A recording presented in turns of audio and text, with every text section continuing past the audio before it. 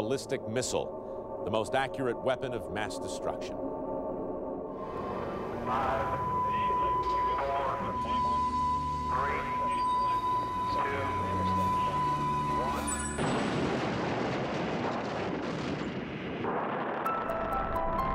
Soaring above Earth's atmosphere, some 700,000 feet up, these vestiges of the Cold War are able to deliver nuclear warheads thousands of miles away with pinpoint accuracy.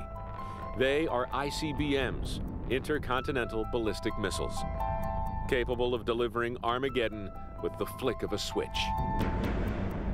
They have created a paranoid new world since their introduction in the late 1950s.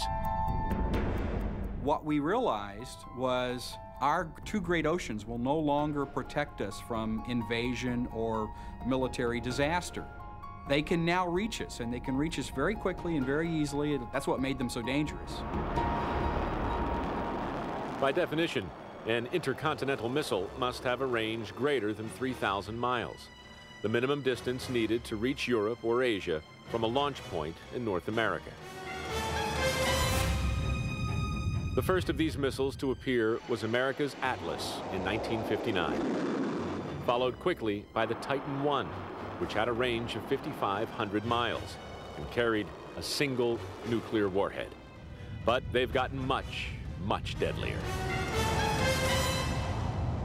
The most current ICBM, called the Peacekeeper, costs $65 million each, weighs nearly 200,000 pounds, and can carry 10 separate warheads, each of which are far more destructive than the old Titan warhead. En route to its target, each ICBM passes through three stages, boost phase, ballistic phase, and re-entry phase. Once launched, targeting cannot be changed, nor can strategic missiles be recalled or destroyed in flight. With ballistic missiles, once you push the button and they take off, you can't bring them back. They're gone. And they're going to hit a target in 30 minutes, sometimes less time than that, depending upon how far away they are. After traveling up to 7,000 miles, the missiles use sophisticated gyroscope and optical guidance systems to hit their targets. They have accuracies measured in hundreds of feet.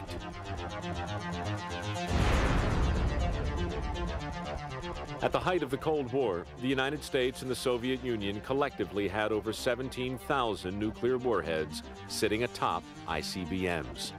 An explosive force comparable to the destruction of Hiroshima once a day, every day, for over 500 years.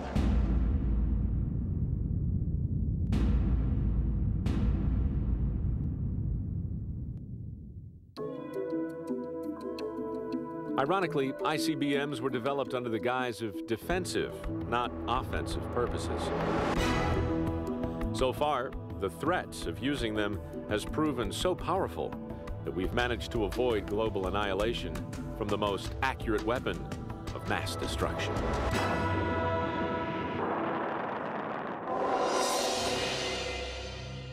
At the end of the Cold War, the United States and Russia began dismantling their nuclear arsenals. Still, in the year 2000, our two countries had over 1,300 ICBMs with more than 3,500 nuclear warheads. Daunting figures, which surely no one foresaw in 1926 with the first launching of the liquid-fueled rocket